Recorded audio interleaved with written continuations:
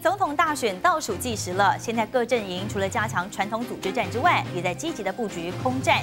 尤其是元老级的网络论坛 PTT，时常会有网友在上面讨论时事议题。而现在就传出十月份开始要陆续清除掉异常的账号。而根据这份统计可以看到，从十月七号到十一月二号，在 PTT 上面就已经清除掉一千一百五十四个账号。国民党立委就质疑了 PTD 这些被砍的账号大多都是民进党的网军，恐怕损失惨重。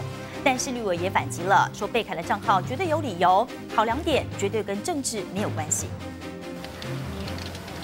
选战白热化，除了传统地面战，网络空战也成为蓝绿兵家必争之地。但网军的称呼也成为支持者互相指控的负面名词。现在传出网友使用频率高的元老级论坛 PTT，十月开始陆续清除异常账号，从十月七号到十一月二号，已经清除了一千一百五十四个账号。蓝尾酸挺英网军，恐怕受伤惨重。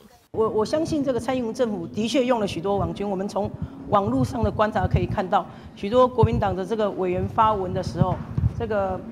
民进党就蔡政府的这个网军真的会刻意的带风向。PTT 每天浏览人数大约为十五万人次，如果以一个账号八千元计算，背后的公关公司可能损失九百二十三万元。就有网友发文分析，发文账号会在文章底下留言带起舆论风向。另外，许多被砍账号的网军都有使用相同句型回应的情况，基本上是帮蔡英文总统加油，批评台北上柯文哲，或是批评国民党总统提名人韩国瑜等等。PTT 有很多冒名的，或者是顶替他人名义的账号，那在遂行相关网军的攻击。我们也希望监察院能够进一步来调查，这里面有没有是是用公堂的，比如说像一四五零 PTT 砍账号，他一定是有所本的，他会砍一定有他的理由。我想他的考量绝对不是只有蓝绿。